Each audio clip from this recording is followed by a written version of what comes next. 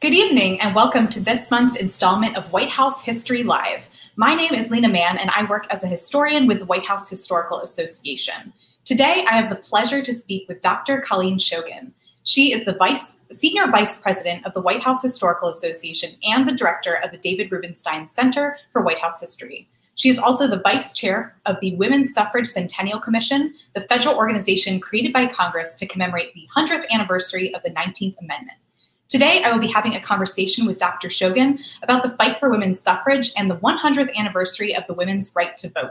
Before we start today, I want to let the audience know if you have any questions, please just type in your question on Facebook or whatever platform you are viewing from, and we will ask your questions to Colleen at the end of the program. So welcome, Colleen, and let's get started. Thanks so much, Lina. I look forward to having this conversation with you this afternoon. Absolutely. So our first question is, uh, the women's suffrage movement lasted over 70 years. How did tactics change during this last decade of the movement? Yes, the tactics uh, definitely did change. And you're right. The women's suffrage movement lasted for over 72 years, 72 years exactly, from 1848 to 1920. And if we can go to our uh, first slide in the presentation, our story really starts with these two women. Uh, this is Emmeline Pankhurst on the right. She was a British suffragette. And on the left is Alice Paul, who was an American uh, suffragist. Uh, Emmeline Pankhurst was the founder of the Women's Social and Political Union in Great Britain. Uh, and Pankhurst rejected really the idea of the quiet petitioner.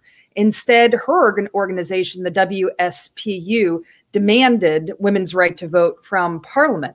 Starting in 1905, British suffragists were uh, regularly arrested uh, for their actions. They did engage in um, some vandalism and civil disobedience. Uh, but the reason why Emmeline Pankhurst thought this was an important strategy to employ was that it would draw more mainstream attention to the cause of women's suffrage. Now, the, the story really begins because Alice Paul is an American and she's a, uh, a Quaker from New Jersey. She goes over to Great Britain, uh, to London, to study for graduate school. And when she's in graduate school in London, she meets Emmeline Pankhurst and her daughter, who are the leaders of the WSPU and the British suffrage, uh, suffragette movement. And she becomes greatly involved in the cause. While she's in London, Alice Paul's actually arrested and imprisoned six times. Um, and she's very much uh, becomes uh, part of the cause while she's there. Also, Lucy Burns, another American suffragist, is spending time in Britain with Emmeline Pankhurst as well. When it comes time for Lucy Burns and for Alice Paul to travel back to the United States, they bring a lot of the tactics that they learned from Emmeline Pankhurst and the WSPU with them, previously not employed and not used in the American suffrage movement. So, what was Alice Paul's first attempt at garnering more public attention for the movement, and was she successful? Sure. So Alice Paul's debut, uh, her vision for the women's suffrage movement, and we can see this on our next slide, is the is a parade that she organizes on March 3rd, 1913, in Washington, D.C. Uh, this is one day before the first inauguration of Woodrow Wilson. So Alice Paul has come back to the United States, and once again, she's trying to utilize some of these attention grabbing tactics that she's learned from Emmeline Pankhurst. And the timing was certainly on purpose. The reason why Alice Paul wanted it the day before Woodrow Wilson's inauguration was that she knew there would be large crowds in town for the inauguration. And for symbolism purposes, she decides to set the parade route for the for the march on the exact same parade route down Pennsylvania Avenue that Woodrow Wilson would follow the next day in the next slide, we'll see actually one of the most famous images of the women's suffrage movement. This is uh, Inez Milholland from New York. She was the, the American suffragist that would lead the parade, and you may be familiar uh, with this photograph. She was actually the inspiration for the creation of uh, one of the inspirations for the creation of Wonder Woman. You can kind of see the visual uh, resemblance there. Uh, she's uh, dressed in a long white broadcloth. She has white boots on. She has a, a pale blue uh, cloak with a cross on it. Uh, the blue symbolized freedom, but there was absolutely nothing traditionalist about Inez Milholland and the image that Alice Paul wanted to share with her being the head of, of the parade. She wanted to be known as the free woman of the future. Notice in the image, she was not riding side saddle, which was extraordinarily unusual uh, for the time. There were, however, problems with the parade, and uh, we can talk about that starting with the next slide. The first major problem with the parade was had to do with race. So Alice Paul, uh, who was organizing the parade, didn't necessarily want African African American suffragists or women not to participate in the parade, but she was put in a, a very difficult position the Southern suffragists, which she knew she had to keep within the movement because the Southern states would be important if there was ever going to be a federal amendment. They would knew they would need some Southern states to actually ratify a federal suffrage amendment. The Southern uh, suffragists said they would not participate in the parade if African American women were allowed to march alongside them. They said they would only participate in the parade if Black women marched uh, segregated at the back of the parade. Uh, but there was a lot of prominent African American suffragists who actually had traveled to Washington, D.C. to participate in the parade. Notably, one, uh, Ida Wells, who was a journalist and also an anti lynching advocate. She came all the way from her home state of Illinois to participate in the parade. And when she got there, she found out she wouldn't be able to march with the Illinois delegation. Well, what Ida Wells did was she solved her own problems. She simply waited on the sidewalk. And when the Illinois delegation marched by, she jumped in the parade and, and joined them. Uh, there were other African American women that participated in the parade, including uh, the women who are um, uh, portrayed here from the Delta Sigma Theta sorority at Howard University um, along with other university women, and they were led by Mary, Ch Mary Church Terrell, uh, who went on to become one of the original founders of the NAACP. And in our next slide, we could see the other problem with the parade, and that was really the crowds.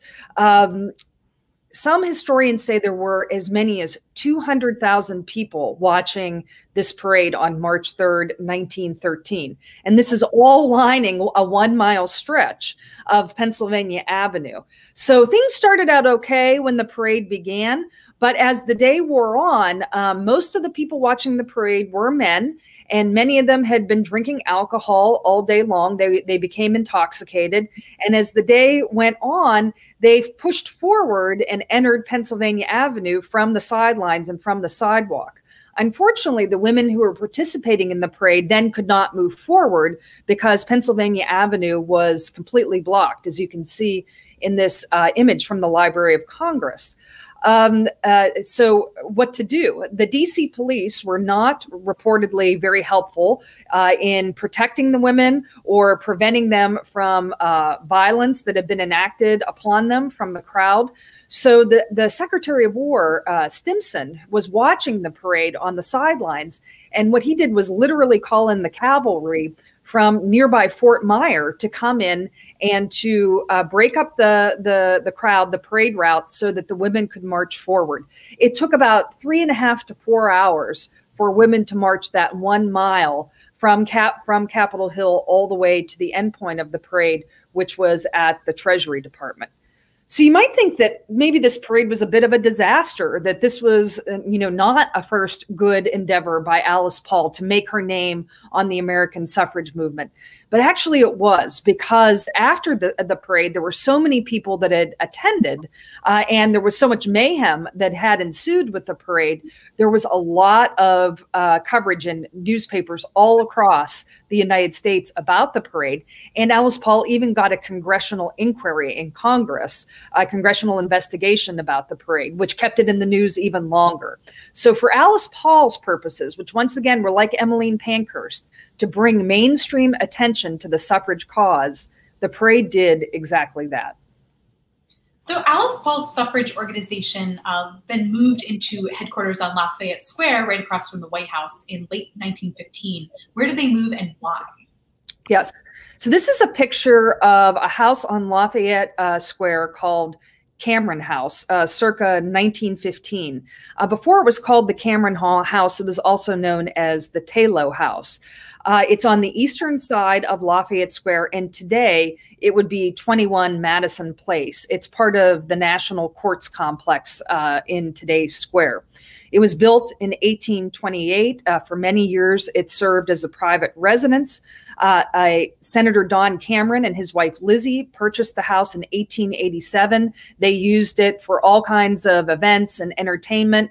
They hosted many presidents in the house, including Presidents Cleveland, Harrison, McKinley, and uh, Teddy Roosevelt. In 19, well, the Camerons were supporters of the women's suffrage movement. So in 1915, Alice Paul uh, had started to create her own organization. Uh, she called it the Congressional Union that was focused solely on the passage and enactment of the 19th Amendment, of the federal amendment. And there was a deal struck between Senator Cameron and Alice Paul, and the Congressional Union moved into this house, their first their first uh, home on the square in late 1915. And can we go to the next slide? Um, um, yes. So the next slide is just another picture of Cameron House, uh, a different angle of Cameron House with the Treasury Department in the foreground. And what happened was uh, the uh, Alice Paul was there uh, from 1915 to about 1917.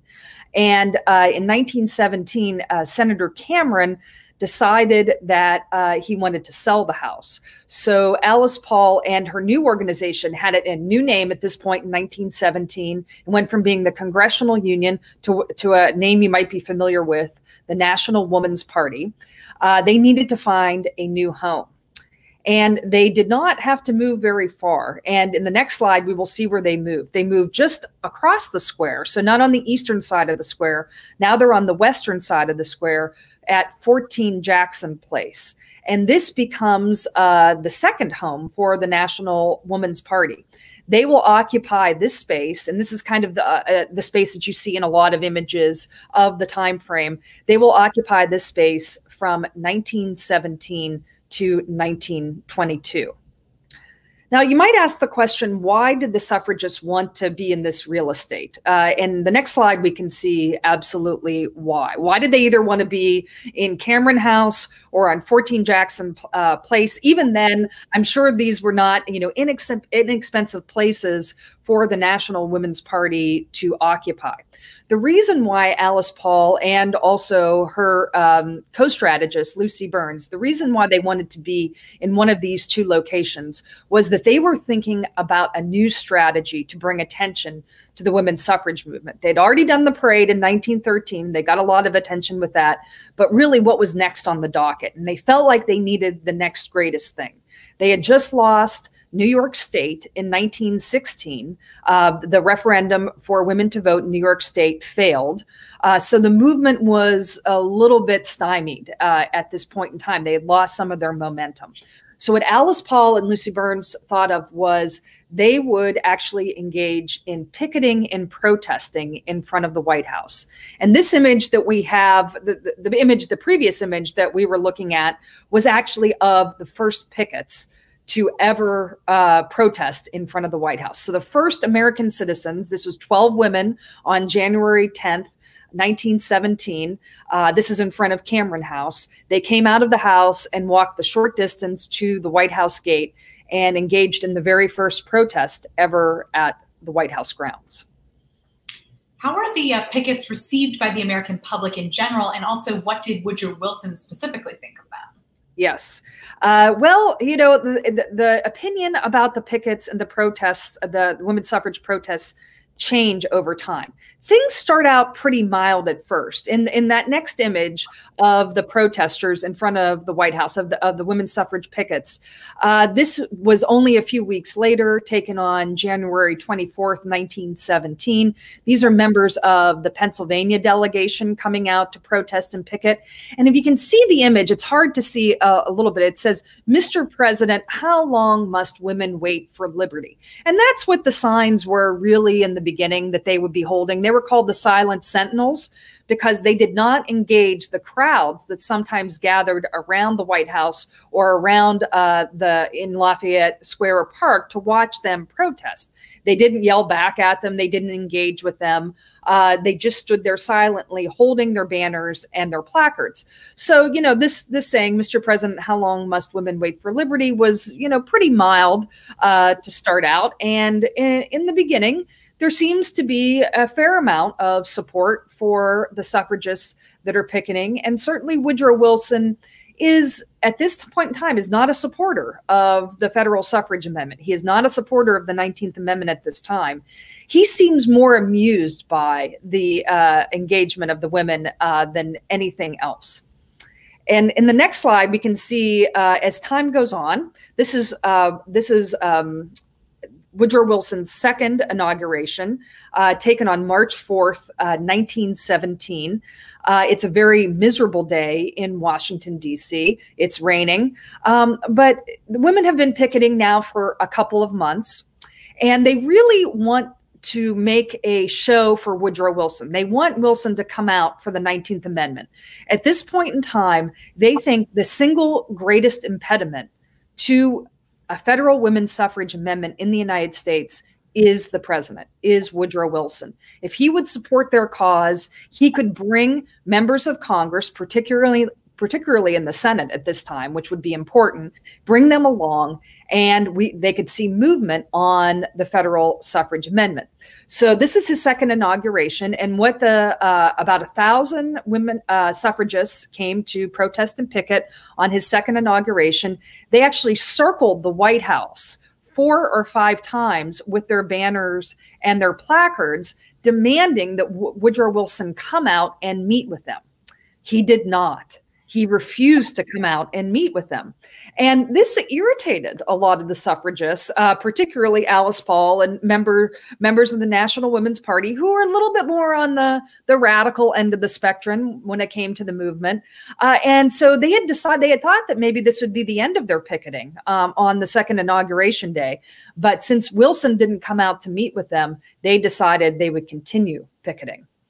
So we can go to the, the next photograph, which is uh, the only photograph in my presentation today that's not from the Library of Congress. This is actually from the Philadelphia Jewish Archives at Temple University. And I like this picture because it's actually a picture of Wilson with the suffragists.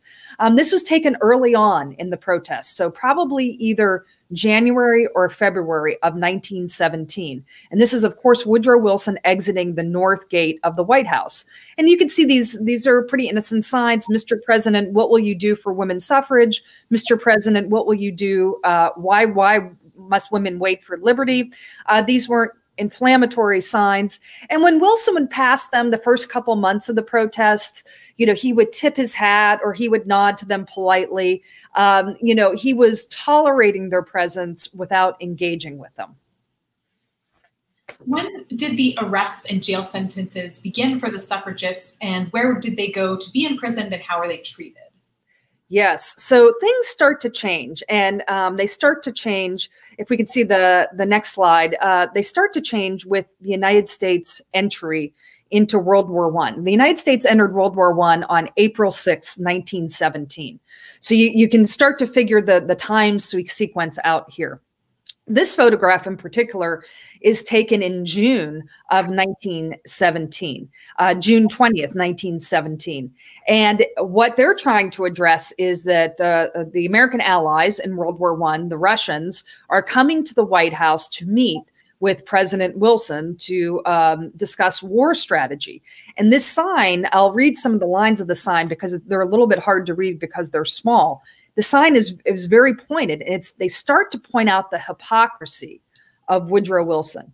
It says to the Russian envoys, President Wilson and envoy Root are deceiving Russia. They say we are a democracy. We, the women of America, tell you that America is not a democracy. 20 million American women are denied the right to vote. President Wilson is the chief opponent of their national enfranchisement. So the that sign is a lot more pointed and a lot more direct uh, than you know, Mr. President, how long must women wait for liberty, or Mr. President, what will you do for uh, women's suffrage? So that's when things really start to change.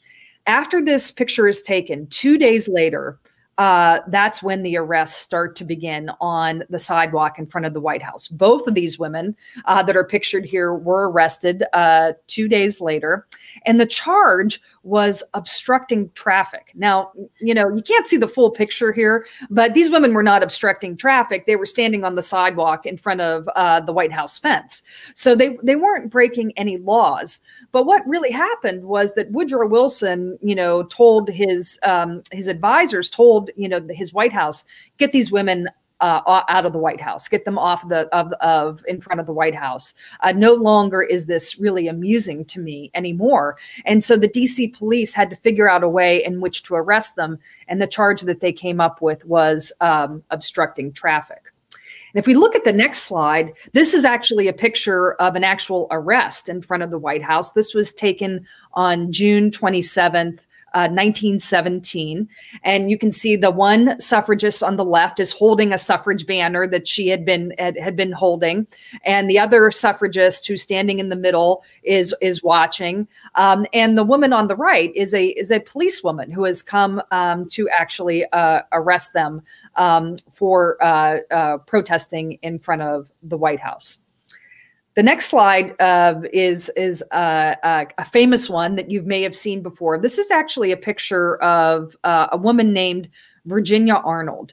She is a teacher from North Carolina who is also uh, come up. To, she's a suffragist who has protested in front of the White House. Uh, this is one of the most well-known signs or banners that the suffragists used. Of course, likening Woodrow Wilson to the German emperor, calling him Kaiser Wilson. Uh, and at the bottom of the banner uh, says, Take the beam out of your own eye. I mean, the hypocrisy is now really flagrant right in Woodrow Wilson's face. Virginia Arnold was one of the original six women who were arrested on uh, June 22nd, 1917. This photograph was taken in August of 1917. You can see that did not deter her. She was uh, back outside, uh, ready to protest and um, uh, show her banner. Uh, the next slide is uh, another famous image that you may have seen previously of the women's suffrage movement. This is Lucy Burns, and it is a likely a staged photo. It was taken at the Occoquan Workhouse in Lorton, Virginia. Uh, Lucy Burns is the American suffragist who spent the most time in prison. She was imprisoned, arrested and imprisoned on six separate occasions, and her sentences were quite long. Uh, Lucy Burns is pictured here, as I said, in the Occoquan workhouse. When uh, the suffragists were uh, arrested, they were sent to one of two different locations, either the DC jail or the Occoquan uh, reformatory, which was 22 miles south of Washington, D.C. And obviously, the women that were sentenced to longer stays were sent to the Occoquan uh, workhouse. The conditions were not auspicious um, in the workhouse, as, as you might imagine. Uh, you can certainly visit the, the workhouse grounds, and they do a terrific job of interpreting um, the suffrage movement and the women who spent uh, time there. Uh, probably the worst night was November 14th, 1917. It's known as the Night of Terror. Uh, the prison warden at Occoquan uh, Workhouse is not a hero in this story. He's a bad guy. And he uh, becomes very irritated at the suffragists. I think at that time, at that uh, particular day, he had 22 or 23 suffragists who were uh, serving time at the workhouse. And he becomes annoyed with them because they are demanding to be treated as political prisoners and all the rights afforded to political prisoners. But he is declining to treat them in that way. He's throwing them in solitary confinement and, and doing other things. And so, what he tells, he instructs his prison guards is to actually teach them uh, a lesson that evening. So, um, uh, Lucy Burns, who's pictured here, uh, when some of the beatings start of the suffragists, when some of the physical abuse, she calls out the role of all the women that she knows that are imprisoned with her at Occoquan. Uh, they tell her to keep quiet. She refuses. They take her hands and they shackle them above her head to her, her jail cell, uh, where she remains for the entire night. Uh, one woman was uh, severe, severely injured, uh, Dora, Dora Lewis, when her head was slammed up against a, um, a uh, iron bed, and her cellmate uh, Alice Cosu, uh, suffered a heart attack because of being so upset of what happened to Dora Lewis. So this was not a walk in the park. The, the, conditions that these women suffered, particularly at the Occoquan workhouse. The next slide is another famous picture. I, I just like this one. Uh, it's once again likely staged, posed uh, photograph. These women were masters of spectacle. They knew if they could get a posed photograph in any of the, the jail or prisons, they could get that photograph out there. It would be in the news uh, and they would get terrific press out of, out of it. This is Helena Hill Weed of Norwalk, Connecticut. Um, she's serving a three day sentence in this picture in the DC jail. Her charge uh, was uh, she was in there for creating for carrying a banner that said, "Governments derive their just powers from the consent of the governed." She was, uh, uh, you know, a very prominent woman in society. She was a geologist by training. She was a daughter of a member of Congress, Ebenezer Hill, and she was the vice president of the Daughters of the American Revolution. So there were some very prominent women who were beginning to be involved in the suffrage movement. And not only were they involved, they were willing to be arrested and they were willing to go to jail. So, how did the protests change in late 1918 and 1919 uh, before the amendment passed both houses of Congress? Yes, and this will be the last part of our story. So, uh, if if we can show the slide of uh, Lafayette Park, the next uh, image. Uh, this was taken in late 1918, in September of 1918, in Lafayette Park, in front of the statue of the Marquis de Lafayette in the park. The statue was kind of like a rallying point for the suffragists. Uh, they found a lot of kinship in Lafayette, who was a revolutionary. They liked his revolutionary spirit. And also, Lafayette was an early supporter of women's rights not so much women's voting, but women's equality in divorce law and in uh, in and um, child rights. Uh, Lafayette uh, advocated for women to be treated differently than what they were in that in the time period in which he lived. So uh, at this point in time, in late 1918, Woodrow Wilson has changed his mind. He has supported the 19th Amendment. He's come out publicly in support of the 19th Amendment. But many of the women of the National Women's Party, as they're pictured here, did not think that Woodrow Wilson was advocating enough for their cause. They did not, at that point in time, they had enough votes in the House to, to pass the amendment, two thirds required, but they did not have enough votes in the Senate. And they thought it was incumbent upon Woodrow Wilson to convince members of his own party, the Democratic Party, who were the holdouts, to come along and to support the 19th Amendment. So, what they started to do uh, was a slightly new tactic besides protesting. They started burning the speeches and words of Woodrow Wilson. So this is the first example on September 16th, 1918. Uh, and you can see the, the woman in the front, um, uh, Jessie McKay. She's actually holding the um, uh, speech from Woodrow Wilson, his statement about suffrage, and she's about to light it on fire in front of uh, the Lafayette statue. And then in the next uh, slide, we can see the, the the, the next iteration of fire. Um, this is this was taken in January of 1919. You can see it's in front of uh, the White House, um, so a slightly different location. But these were called the Watchfires of Freedom. And once again, these women were masters of images, photographs, and spectacle.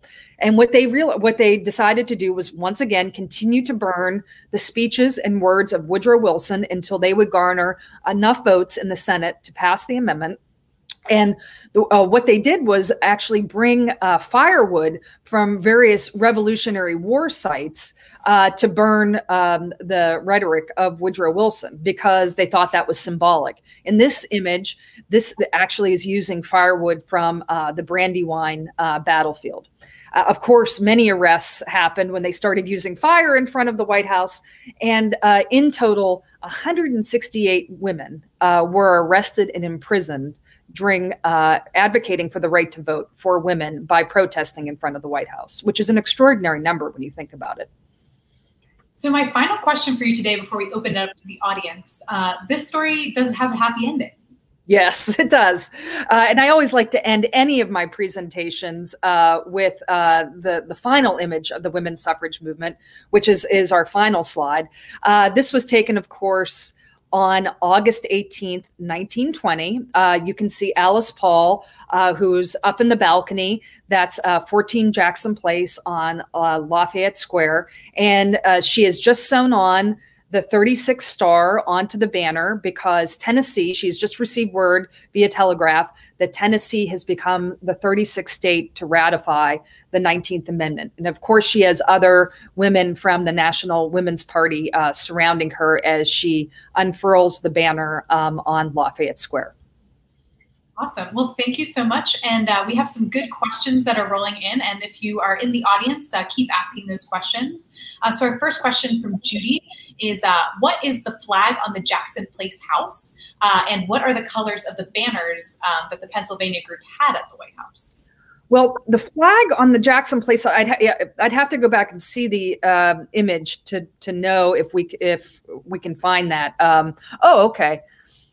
I don't, you know, that's that's a really good question. Of course, it's the the United States flag. I would have to get someone, uh, and I know who to ask. Uh, uh, we have, I have a historian who's an expert in images of the women's suffrage movement. I would have to ask her about um, that precise flag on the right there. I'm not, I'm not certain about that, but the colors are uh, the colors of the suffrage movement um, are white purple and gold. And so many of the banners, you can kind of see it a little bit in some of these photos, even though they're black and white, uh, often are white, purple, and gold. And the white originates, and I'm wearing white today. I always wear white when I talk about women's suffrage. The white really originates from the idea of something that Alice Paul learns from Emmeline Pankhurst, again, um, in London women wear the white because then they can they will stand out uh, when they're engaging in something like a parade or a protest where there's a large crowd uh, because then the suffragists will be easily identifiable. So that's where the white comes from and the wearing uh, of the white. And the purple and the gold just becomes uh, colors that they adopt uh, as the movement uh, goes forward. So Winston wants to know what is one thing that you think isn't taught about women's suffrage or the 19th Amendment that people should know? Yes, uh, I think there's there's a number of things. Uh, we talked about one of them, which was um, how many women were arrested and actually went to jail and spent time in prison uh, to advocate for the 19th Amendment and women's uh, right to vote. So that's, uh, I think, a really important part of the story. There was a lot of uh, sacrifice. Sometimes I think there's a sanitized version of the movement that you know women kind of put on their pantaloons and their parasols and they politely asked for the right to vote. Eventually, at some point, they got it. Yeah, that's not the right version of history. Uh, that's that's a very simplistic version of history. The the women's suffrage movement lasted for 72 years and uh, a lot of trials and tribulations. I would say the other thing that I was surprised um, when I started learning more about suffrage history was really about uh, the the absolutely critical and important role that race plays, particularly at the very end of the movement. Um, as I, I, talked about in, in my presentation, uh, one of the reasons why Alice Paul is hesitant to go against the wishes of the Southern suffragist delegations who are participating in the 1913 parade is because Paul understands how the Constitution works. She knows she is going to eventually need the support of Southern states in order to uh, enact the uh, what would become the 19th Amendment. Um, and she she ends up being right because there's some misses. Um, there's certain states that uh, that take on the ratification debate, particularly in the Northeast, and they are not successful. Uh, for example, Delaware is is not successful. Maryland is not successful. And uh, so it comes down uh, to really to Tennessee in the end, uh, certainly a southern state. And um, uh, when you read accounts of that final debate that took place in um, the Tennessee State House, um, uh, you would be very surprised to learn that the debate is is not very much at all hardly at all about sex or gender at this point. Now, this is 1920. It's kind of a foregone conclusion. Women are voting around the country. There, there just isn't a federal amendment. Eventually, at some point in time, there is going to be a federal amendment. The question is whether it's going to be in time to vote in the 1920 election or not. Um, gender is kind of a little bit off the table at this point in time, but it's about race because a lot of the um, legislators in the Tennessee State House uh, have already encountered the fact that they are trying to prevent African American men from voting in Tennessee. But if they enfranchise women, they know they will then have to also prevent African American women from voting in Tennessee. And so the entire debate becomes really about the role of race and voting. And that was surprising to me to actually learn that part of the history.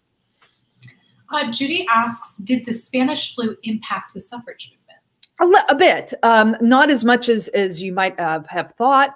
Um, certainly, some of uh, the larger gatherings and conventions that uh, the two suffrage organizations put on, the National Woman's Party, uh, but also the other organization we didn't talk quite as much about today, um, NAWSA, the National American Women's Suffrage Association. They would hold, you know, big conventions and big meetings. There would also be state uh, uh, meetings and conventions, and some of those were were canceled, and other ones actually. It, seems to be some evidence that they engaged in practicing uh, social distancing uh, during the, the um, Spanish flu pandemic.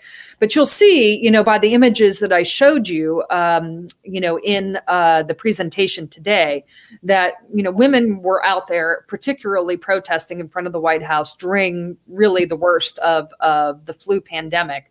Um, and uh, the, the, movement really did uh, move on. The one thing that did help the suffragists, I will say this, is um, women's involvement in World War One. Uh, because a lot of women became involved in the World War One uh, effort, either as nurses, um, actually um, on the front, or at home, you know, taking over jobs uh, that men were no longer able to do because they were off uh, fighting the war. And uh, that really does end up helping perceptions of gender and women and citizenship. And it starts to turn the tide, the opinion in the United States. Well, we have these women doing all these things, they're contributing visually and and obviously and empirically to the war effort but they're not they don't have they're not they don't have the right to vote in the United States. Not all women have the, the, the right to vote in the United States. And that starts to become a obvious contradiction. Molly asks, do we know about how many suffragists helped with the protests in front of the White House?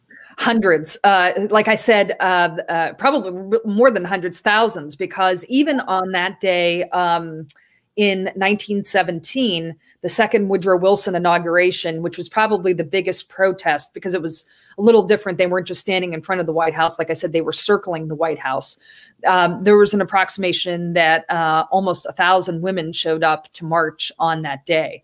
So uh, what they would do is uh, Alice Paul would you know, basically had a rotation of women, and so they would uh, they would arrange for women to come on different days uh, to protest in front of the White House.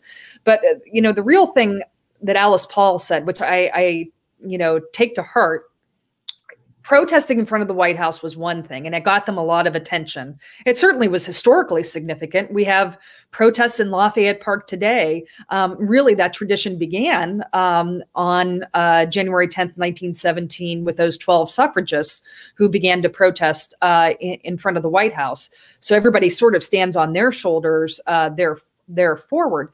But what Alice Paul said in the 1970s, when she did a retrospective interview, I think 50 years after um, uh, 1920, what she said was really the, the, the turning point for her, at least as, as she saw it, was when women were willing to actually go to prison. So, of course, women were offered the opportunity to pay a fine. When they were arrested, they could pay a small fine um, and, you know, obstructing traffic, uh, you know, $10 or something like that. And uh, they wouldn't have to uh, go to prison. But what the women started to do, most of the women did, was refuse to pay the fine. And because they wanted um, a lot of the prominent women, in particular the society women, uh, they wanted to go to prison because they knew that their their husbands and other people that they knew would then start uh, complaining, and they did, uh, complaining directly to Woodrow Wilson, which started to shift uh, his opinion and how he thought about uh, his approach to the suffragists. So Jackie asks, uh, you mentioned that the 19th Amendment didn't give all women the right to vote, and can you talk more about that?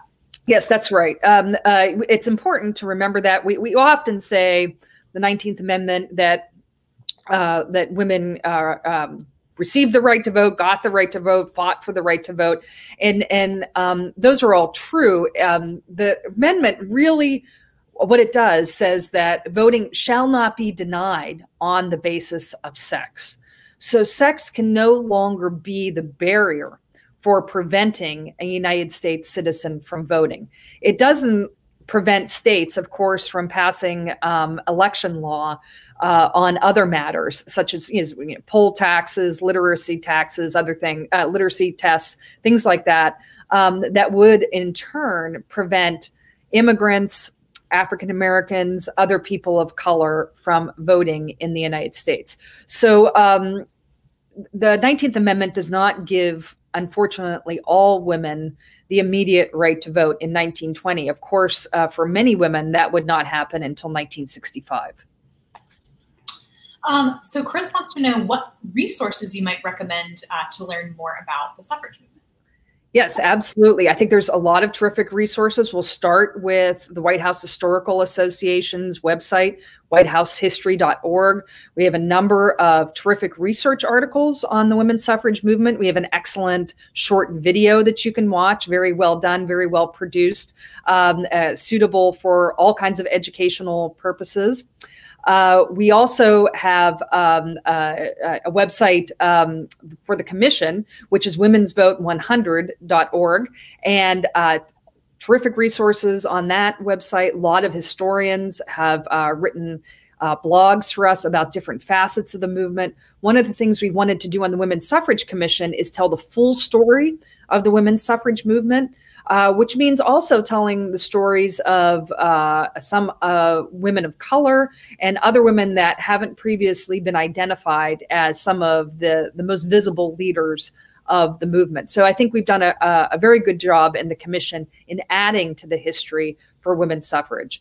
And then I'll also uh, mention my former employer, the Library of Congress, loc.gov, and they have a terrific online exhibit uh, called Shall Not Be Denied. The Library of Congress has most I, I, I think I can say this has really the best women's suffrage collection in uh, the United States, and that was because the Librarian of Congress was friends with a lot of the suffragists, and he convinced them to donate their records and their papers to the Library of Congress. He was he was actually thinking ahead, and so he was able to acquire a lot of those papers early on uh, in the movement uh, before they would have been valuable and would have went to other places. So as a result result, the Library of Congress has a terrific repository and an online exhibit that you can easily look at and check out. Jen asks, what would have happened next if Tennessee hadn't ratified? Mm. Yeah, that's a good question. Uh, there, uh, there was, an, I have to go back and check my notes. There was another Southern state that was on the docket uh, that have potentially would have uh, become the 36th state. But I think because Tennessee ratified in in August, um, that next state wouldn't have the fight wouldn't have taken place until later in the fall. And certainly women would have not been able to vote in the 1920 election. It, it would have been too it, that wouldn't have the 19th amendment wouldn't have been enacted. For women to to vote in the 1920 election, it was Tennessee or bust. So uh, that's it. Really would have gotten kicked forward. Uh, so you know, for a presidential election, you wouldn't have seen women participating until 1924. Um, our question from Anne asks, what kept these women going or inspired them through 70 years of movement, cold weather, beatings, etc.? Yes. Um, uh, yeah, I think that the number one quality and uh, uh something that I think a, a lot of younger people whether they're kids or they're uh, middle schoolers or high schoolers, can take from learning more about the suffrage movement is this idea that um, these women organized for 72 years, that social movements take a long time, uh, and social change does not happen overnight. Uh, really, what these women had to do was change the culture in the United States, uh, change how uh, Americans viewed uh, women and their role in society. And that's a huge, when you think about it, that's an incredibly huge undertaking.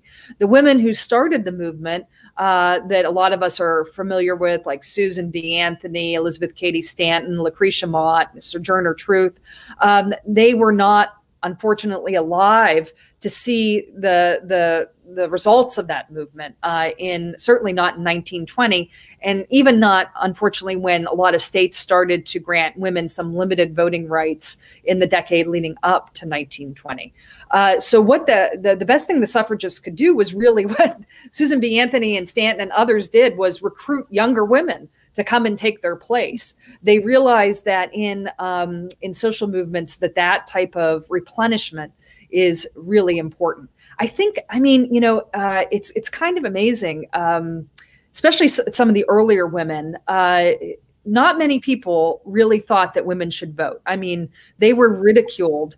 Yes, uh, bad things happened to the women uh, who were imprisoned in Occoquan and the DC jail, and and those were uh, uh, very very scary times for them the women earlier on had no support. I mean, really, I don't know, a, very small part of the population actually thought that women should be able uh, to have the right to vote. They were pelted with tomatoes when they would give speeches, they were booed off stages.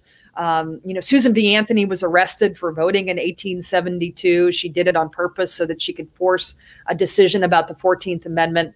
So, uh, you know, uh, it's it's almost um, it's remarkable to think that they persevered when they really didn't see, uh, unfortunately, an end in sight uh, during their their time. We have a question from Amanda that asks, "How did President Wilson's daughters feel about women's suffrage?" Yes, uh, there was. A, he at least had one daughter um, who was favorable uh, towards uh, women's suffrage, and I, I don't. I think it would be an exaggeration to say that she was a suffragist. Uh, she wasn't an organizer. She wasn't, you know, protesting outside of the White House uh, while her father was inside. She wasn't engaging in that type of way. But she did, I believe, participate in a few um, uh, women's suffrage conventions and meetings where they were really happy to be able to kind of you know, use her basically as a prop uh, to say that she was uh, supportive of the women's suffrage movement. Unfortunately, the the woman who was not supportive of the women's suffrage movement was Edith Wilson, uh, the president's second wife. She was kind of a um, an interesting character. You know, she was uh, kind of a carefree woman, younger woman living in Washington D.C. Apparently, was the first woman to have a driver's license in Washington D.C. She used to drive around in her little convertible around uh, around uh, the nation's capital, but she was an ardent opposition to suffrage and probably uh, certainly inhibited Wilson's thinking on on the topic. So I just have one final question that I like to ask uh, to wrap up today. Uh, what is the difference between suffragist and suffragette? Yes, that's uh, that's a great question, um, and that's one of the first things you learn when you start to study suffrage history. Suffragettes are the British term. So uh, the reason why they're called suffragettes is because a uh, British journalist uh, for the UK Daily Mail wrote an article in the early 1900s calling the women who advocated for voting, calling them suffragettes. What he he did was take the word suffrage, which meant voting, and added that e t t e, the et to it, which was uh, you know a French uh, uh, a suffix that really uh, meant diminutive or diminishing. It was a derogatory term that he assigned to the women who were advocating for the right to vote. And what um, the women did over in, in Great Britain was they just they adopted the term. They made the term their own. They started using the term suffragette uh, and and really took the um, derogatory elements out of it. Now, Alice Paul, of course, was over in uh, Great Britain, Great Britain, and Lucy Burns, and uh, they saw all this happen.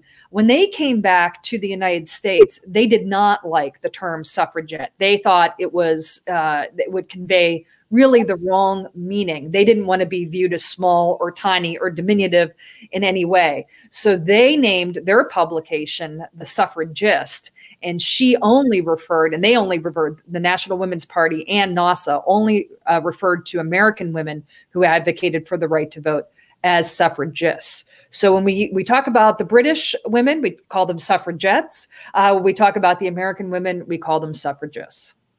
Excellent. Well, that is all the time that we have for today. I want to, of course, thank Dr. Shogan for sharing this fascinating history with us.